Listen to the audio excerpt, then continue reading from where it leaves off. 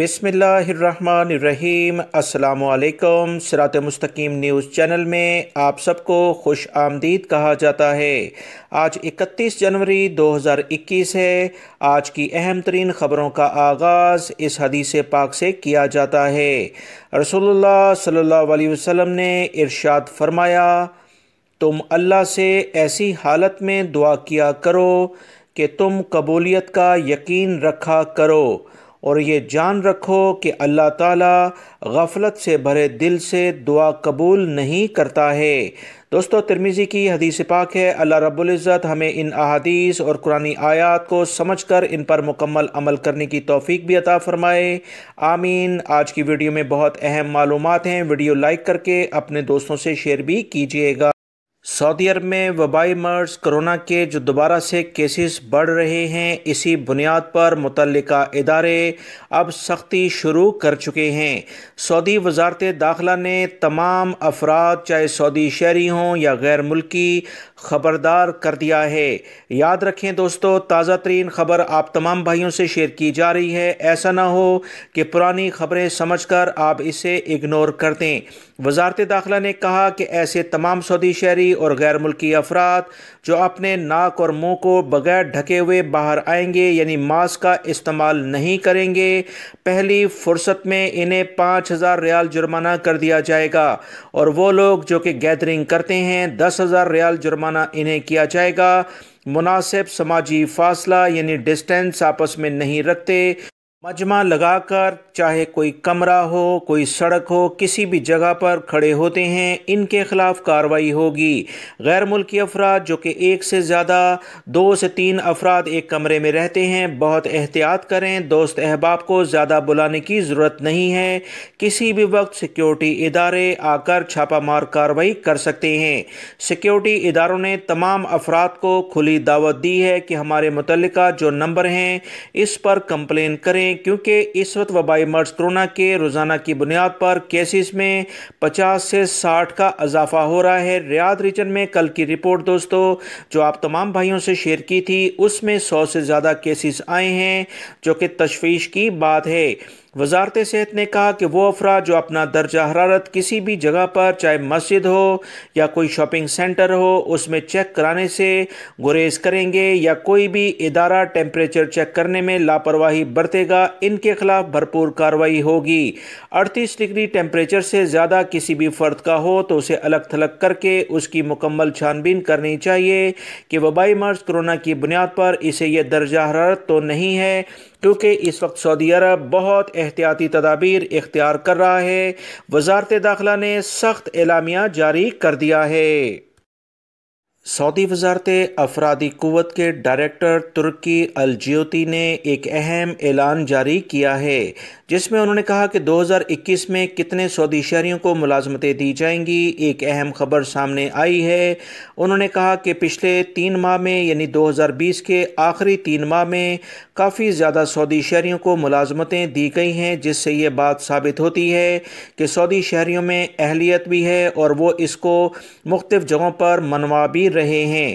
مزید جو اطلاعات آئی ہیں کہ دو ہزار اکیس کے لحاظ سے دو لاکھ چالیس ہزار کے قریب ٹارگٹ رکھا گیا ہے کہ اہم ترین اداروں میں سعودی شہریوں کو ملازمتیں دی جائیں گی، جس میں خاص طور پر telecom sector, I T کا شعبہ صدلیہ یعنی کہ میڈیکل سٹورز اور ڈینٹس کے جو ڈاکٹرز وغیرہ ہیں ان تمام جگہوں پر سعودی شہریوں کو اولین ترجیح دی جائے گی تاکہ مختلف جو شعبے سعودی عرب کے اہم ترین شعبے کلاتے ہیں، اس میں سعودی شہریوں کو زیادہ سے زیادہ روزگار کے مواقع فراہم کیے جائیں۔ پاکستان کی سول ایوییشن کی جانب سے ایک اہم خبر سامنے آئی ہے کہ پشاور ایئرپورٹ پر جعلی وبائی مرض کرونا کے سرٹیفکیٹ دکھا کر بیرون ملک جانے کی کوشش کرنے والے چھ مسافروں کو حراست میں لے لیا گیا ہے۔ پاکستان سول ایوییشن نے بتایا کہ باچا خان انٹرنیشنل ایئرپورٹ پر پاکستان سول ایویشن کے ادارے اور محکمہ صحت نے کارروائی کی ہے۔ پاکستان سول ایویشن نے تمام پاکستانی مسافروں سے کہا کہ کسی بھی صورت میں ایسے افراد سے جعلی سرٹیفکیٹ نہ لیں۔ آپ کی صحت بہتر ہے تو یہ آپ کے لیے بہت بڑی نعمت ہے۔ اپنا طریقے سے میڈیکل سرٹیفکیٹ حاصل کرنے کے لیے ٹیسٹ کروائیں۔ یاد رکھیں، پشاور سے جدہ کے ابو ظہبی اور شارجہ یہ پروازیں جاری تھیں جس سے ان مسافروں نے سفر کرنا تھا۔ پچھلے دنوں بھی پاکستان سے کچھ مسافر ایسے مختلف ممالک میں سفر کر کے گئے تھے، جس کی بنا پر پاکستانی حکومت کو کافی مشکلات کا سامنا کرنا پڑا۔ لہٰذا اسی بنیاد پر پاکستانی حکام اب کافی سختی کر رہے ہیں تاکہ کسی بھی قسم کی کوئی مشکلات سامنے نہ آئیں۔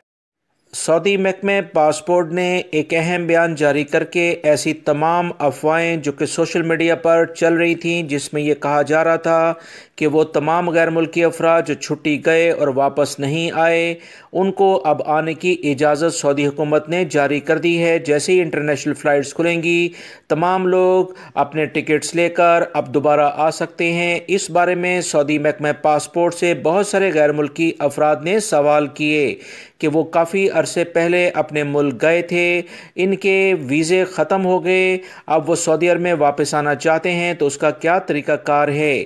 سعودی محکمہ پاسپورٹ نے کہا کہ سوشل میڈیا پر ایسی چلنے والی تمام خبریں بالکل من گھڑت اور بے بنیاد ہیں۔ سعودی محکمہ پاسپورٹ کے جو قوانین ہیں، اس میں کوئی تبدیلی نہیں کی گئی ہے۔ وہ تمام غیر ملکی افراد جو کہ ایگزٹری انٹری ویزے یعنی خروج عودہ چھٹی والا ویزا جسے آپ کہہ سکتے ہیں، اس پر گئے اور سعودی عرب میں مخصوص ٹائم تک نہیں آئے، ان کا ویزا ختم ہو گیا، تو ان پر تین سال کی پابندی ان کی چھٹی ختم ہونے کے بعد سے کنسیڈر کی جائے گی۔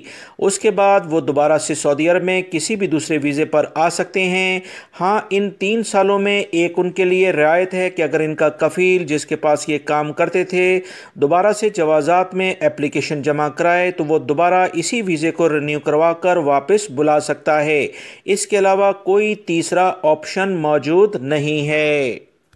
بہت سارے غیر ملکی افراد جو پاکستان، انڈیا، بنگلہ دیش یا جس بھی ملک سے آپ کا تعلق ہے، آپ سعودی عرب میں آتے ہیں تو اکثر ایئرپورٹ پر کچھ مشکلات دیکھی جاتی ہیں۔ کچھ بھائی اپنے دوستوں، یاروں کے لیے سگریٹ یا دیگر پاکستانی بھائی نسوار وغیرہ لے کر آتے ہیں۔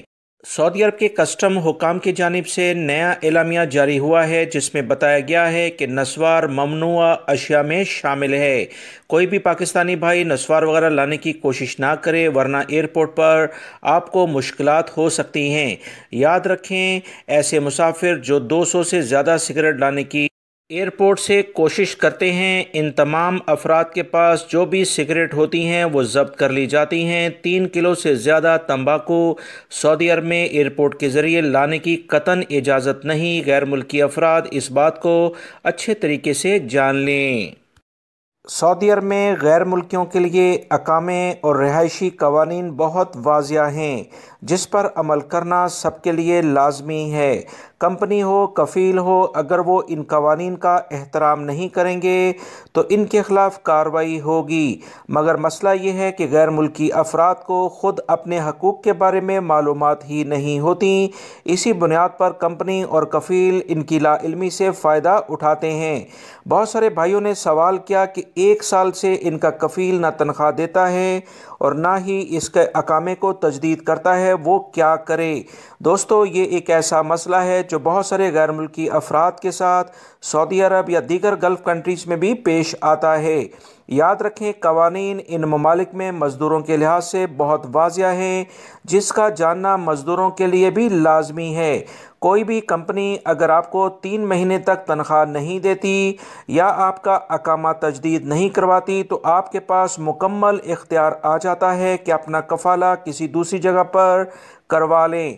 ایسے کفیل کے پاس کسی صورت میں رہنے کی کوئی ضرورت نہیں، جو آپ کو تنخواہ نہیں دیتا یا دیتا بھی ہے تو بہت کم کر کے دیتا ہے۔ ان تمام صورتحال کا سامنا غیر ملکی افراد کو کرنا پڑتا ہے۔ لہٰذا پہلی فرصت میں مکتب عمل، جو کہ منسٹری آف ہیومن ریسورسز کا ایک اہم ڈپارٹمنٹ ہے، وہاں جائیں، اپنی کمپلین لانچ کریں، وہ آپ کو ان تمام مشکلات سے چھٹکارا دلائیں گے۔ اور انشاءاللہ دس سے پندرہ دنوں میں آپ کا نقل کفالہ کسی دوسرے کفیل کے پاس کر دیا کیا جائے گا۔ رہی آپ کے واجبات کی ادائیگی، تو وہ تمام کی تمام چیزیں آپ کو کفیل کمپنیوں سے لازمی دلائی جائیں گی۔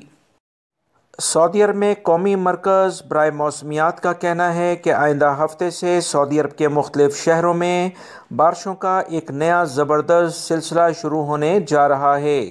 سعودی محکمہ موسمیات نے اس بارے میں مزید کہا ہے کہ آئندہ ہفتے کے درمیان میں مملکت کے شمال اور مغربی علاقوں میں بارشیں ہوں گی، جس کے کافی زیادہ امکانات ہیں کہ گرج چمک کے ساتھ بارشیں ہوں گی۔ مشرقی اور وسطی علاقوں میں، جو کہ ریاض، حائل قسیم اور اس کے علاوہ ایسٹرن ریجن جو دمام کے علاقے ہیں، اس پر مشتمل ہے۔ ان تمام علاقوں میں چار سے پانچ دن تک بارشوں کا زبردست سلسلہ جاری رہے گا۔ اس کے علاوہ جو مزید اطلاعات آئی ہیں کہ چار فروری دو ہزار اکیس سے تبو کلجو فائل اور شمالی حدود کے جو علاقے ہیں، اس میں کافی زیادہ برف باری کا بھی امکان ہے۔ مکہ المکرمہ قسیم، مدینہ منورہ، شمال مغربی وسطی علاقوں کے علاوہ مشرقی علاقے بھی بارش کی زد میں رہیں گے۔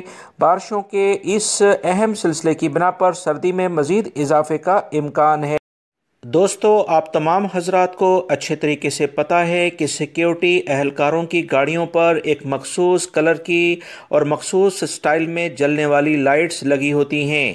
اگر اس کا استعمال کوئی بھی سعودی شہری ہو یا غیر ملکی یا کسی بھی ملک میں آپ رہتے ہوں، کرتے ہیں تو یہ قوانین کی ایک کھلی خلاف ورزی کہلاتا ہے۔